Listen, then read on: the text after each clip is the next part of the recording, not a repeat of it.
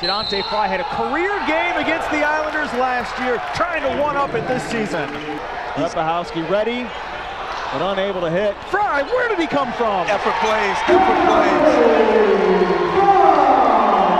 Draws in the defense, finds Frye. Second three of the game. That's a great extra pass by JP. Now you ISO for Harris.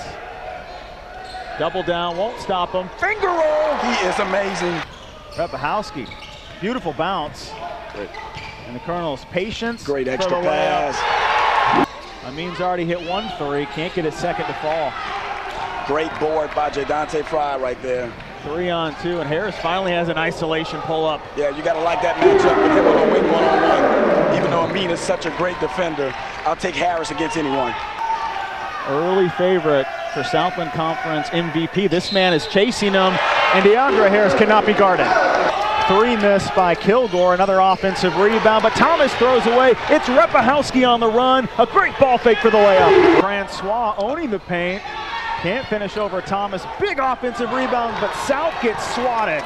20 good. points between Amin and Thomas. They're pretty good. The bounce and by Doug. Liam Thomas and Jahvaughn Powell. Textbook execution. Jonathan Bell without a field goal in the first half.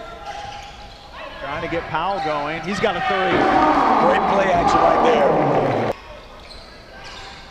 Shot ready. Powell. Second three in the second half. They've recruited a specific brand of basketball player in Corpus Christi, but they have no answer for a 30-foot Jahvaughn Powell three. If you're in Thibodaux the surrounding area, you just need to get out here to see these guys play. They're pretty fun to watch, Brian. You need to watch the rainbow show that Jahvaughn Powell is offering. Four second half threes, and it's back to a 10-point lead. Bell chases after the steal, he gets it. Jonathan Bell taking over the game, and it's 11-point lead just like that. Seven rebounds, four assists, four steals for Ehab Amin, and he has a game-high 23 points. But he won't challenge Frye, and that's a mistake. Frye around that 12-foot range is like a layup. Kilgore wants two, tried to oop it to Thomas, knocked away by Liam Thomas.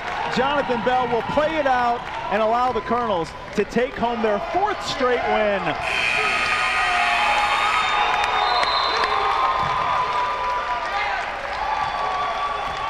If you didn't believe in Nicholls State University basketball, you better now. Hey, the fans better get here. Thibodaux, Houma, New Orleans, Baton Rouge.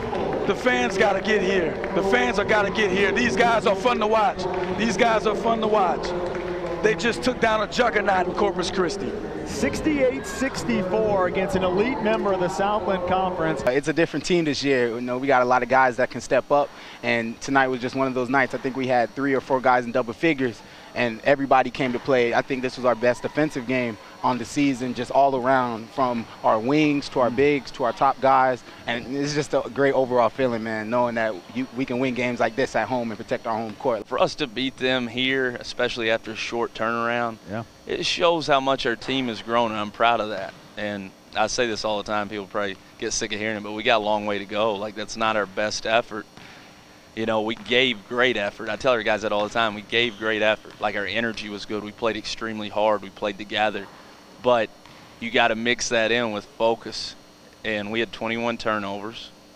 We had some mishaps offensively that we usually don't have, and we didn't shoot the ball like we normally do. So it wasn't a perfect game. So for us to be able to win it with our defense was was really encouraging because we haven't we haven't really done that this year. We've we've scored a bunch of points and kind of outscored people. So tonight we got in a grinder, which is what conference plays about, and we're able to win.